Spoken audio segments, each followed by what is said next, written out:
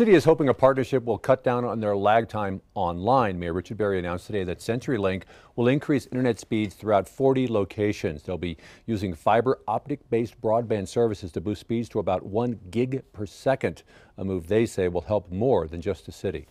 Not only do the community centers and city locations today benefit from it, um, but it was also a catalyst to a build for over $600,000 worth of fiber placement.